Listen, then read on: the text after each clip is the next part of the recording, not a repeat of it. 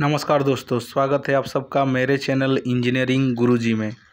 आज हम लोग जानेंगे कि पाइप का ऊपर थ्रेडिंग कैसे किया जाता है और ये इसका नाम क्या है, इसको यूज़ कैसे किया जाता है तो इस वीडियो में इसका पूरा नाम जानेंगे, सारा जितना इक्विपमेंट देख रहे हैं, इसका पूरा नाम का डिटेल्स जानेंगे। तो वीडियो बहुत नॉलेजेबल होने वाला है, अगर चैनल में नए हैं और वीडियो को पहली बार देख रहे हैं तो अभी तुरंत चैनल को सब्सक्राइब कर लीजिए और बेल आइकन को प्रेस कर दीजिए।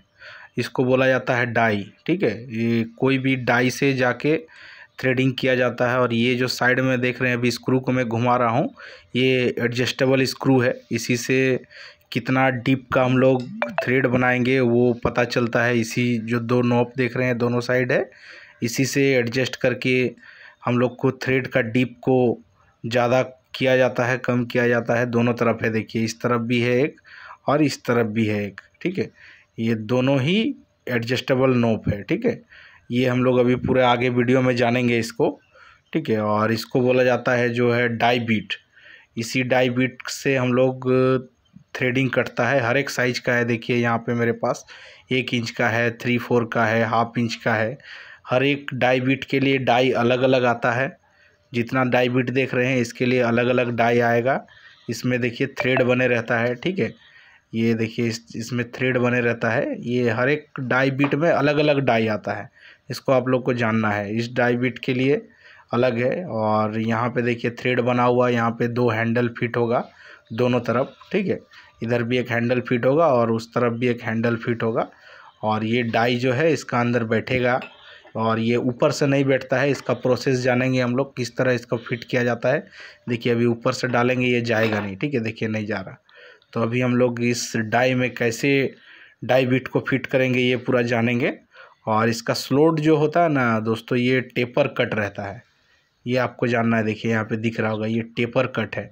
इसका जो डाई का जो ग्रुप है इस टेपर कट का वजह से डाई बिट वहाँ पे फंस जाता है और आपको इस नॉब से एडजस्ट करना पड़ता है कि कितना डीप करना है। तो इस डाई बिट को हम लोग इसका अंदर अभी सेट करेंगे और हर एक डाई बिट का अलग अलग डाई है। मैंने अभी आप लोगों को बताया, मैंने सिंपल आप लोगों को समझाने के लिए सारा डाई बिट रखा है। हर एक साइज़ का अलग अलग डाई बिट आता है, ठीक है? इसके लिए ये वाला डाई बिट है, आप जो देख रहे हैं, ठीक है? इसको अभी हम लोग किस तरह से इसका अंदर फिट करेंगे और कैसे पाइप पाइप में थ्रेड करेंगे, ये आपको मैं पूरा प्रोसेस अभी दिखाता हूँ। तो वीडियो को पूरा देखते रहिएगा अभी। ठीक है, इसको अभी हम लोग पलटी करते हैं, क्योंकि ये आगे साइड से डाइबिट फिट होता है। ठीक है, ये जो देख रहे हैं आपका गाइड बूस है, इसको गाइड बूस बोला जाता है। हर एक पाइप के लिए अलग अलग रहता है। उस स्क्रू को खोलिएगा तो ये गाइड बूस बाहर आ जाएगा। ठीक है, और ये जो है दो इंची तक का पाइप को थ्रेडिंग कर सकते हैं। तो हम लोग इस गाइड बूस को जब भी करना है गाइड बूस को चेंज करना है। अब ये गाइड बूस पूरा नीचे से भी खुलता है, क्योंकि इसका अंदर जो डस्ट पार्टिकल होता है थ्रेड बनने के बाद, उसको साफ़ करना पड़ता है और डाई भी इसका अंदर सेट करना पड़ता है। ये जो जगह देख रहे हैं, इसका अंदर पूरा जो आप, जब आप टेपिंग कीजिएगा तो उसका बाबरी इसका अंदर फंस जाएगा। उसको साफ़ करने के लिए इसको खोलना पड़ता है और ये डाई बिट भी इसी तरफ़ से सेट होगा। और ये डाई बिट में देखिए, एक तरफ़ से थोड़ा घिसा हुआ है। जो घिसा हुआ पोर्शन जो देख रहे हैं ना, ये आगे की ओर रहेगा। इसको आपको हमेशा याद रखना है। देखिए डाइबिट में घिसा हुआ, ये ऊपर की ओर रहेगा। इसको आपको याद रखना है। कभी भी बैठाते समय जो घिसा हुआ पोर्शन है, उसको ऊपर रखना है। ये आपको हमेशा ध्यान रखना है, नहीं तो कभी भी आपका थ्रेड कटेगा नहीं। इसमें भी देखिए, एक तरफ़ घिसा हुआ है, देखिए। ठीक है? ये जो घिसा हुआ पोर्शन है, इसको आपको फ्रंट साइड में रखना है, ऊपर की ओर।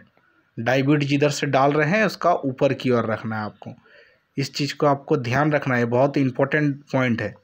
ठीक है, ये देखिए, मैंने अभी डाल के आप लोगों को दिखाया। दोनों दोनों का जो घिसा हुआ थ्रेड है, उसको ऊपर की ओर रखा, ठीक है? और ये स्लाइड भी होता है इस जगह में, देखिए स्लाइड होता है। देख रहे हैं, इस तरह से ये स्लाइड होता है ग्रुप में उसका। स्लाइड क्योंकि होता है, क्योंकि टेपर कट रहता है, उसका जो ग्रुप है टेपर कट है तो नीचे गिरेगा नहीं। उसके बाद आपको ये गाइड बूस को टाइट कर देना है फुल्ली ठीक है? पूरा अच्छी तरह से टाइट कर लीजिए। टाइट करने के बाद ही आपको थ्रेडिंग करना है पाइप में। लूज में मत कीजिएगा, क्योंकि लूज में कीजिएगा तो उसका जो डाइबिट आपने सेट किया है, वो प्रॉब्लम करेगा आप लोगों को। अच्छी तरह से इसको टाइट कर लीजिए और हर एक पाइप में इसको चेंज करना है। ये दो इंच तक का कर सकते हैं। एक इंच से लेके, डेढ़ इंच से लेके दो इंच ये जो डाया देख रहे हैं, ये दो इंच का है अभी।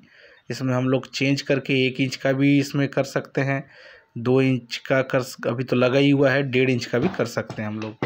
अभी मैं पलटी करके आप लोगों को दिखाता हूँ, ठीक है? डाइबिट को सेट करके कि किस तरह से इसका अंदर ये स्लाइड करता है, देखिए।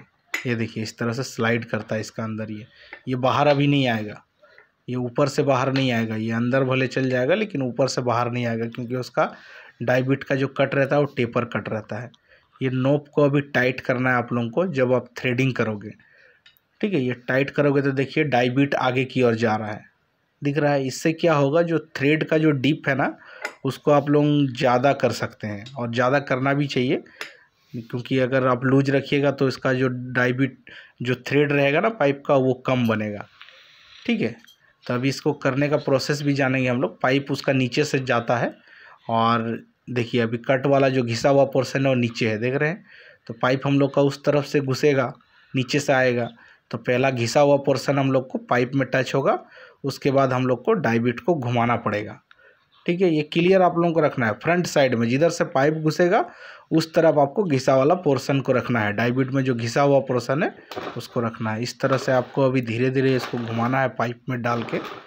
ठीक है, घुमाते जाना है।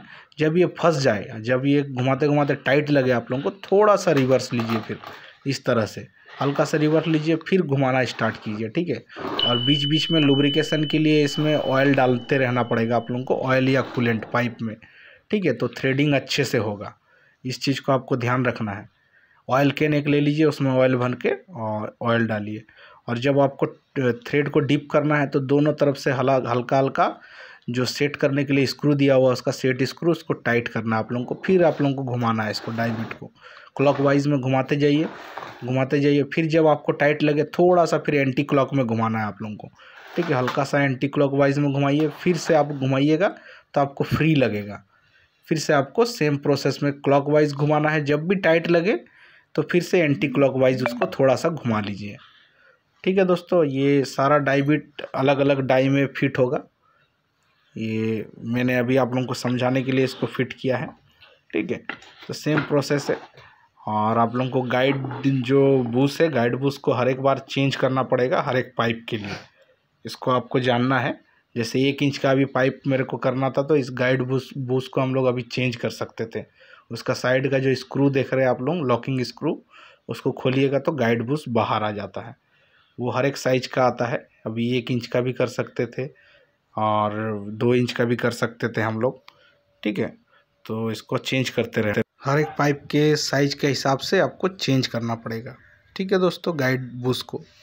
तो आज के वीडियो में इतना ही। अगर आप लोगों को वीडियो नॉलेजेबल लगा है तो अभी तुरंत चैनल को सब्सक्राइब कर लीजिए और बेल आइकन को प्रेस कर दीजिए, जिससे आप लोगों को रेगुलर नोटिफिकेशन मिलते रहेगा। और मेरे दूसरे चैनल को भी सपोर्ट कीजिएगा, जिसका लिंक मैं डिस्क्रिप्शन में डाल दूँगा। तो आज के वीडियो में इतना ही। मिलते हैं नेक्स्ट वीडियो में। तब तक के लिए बाय बाय दोस्तों।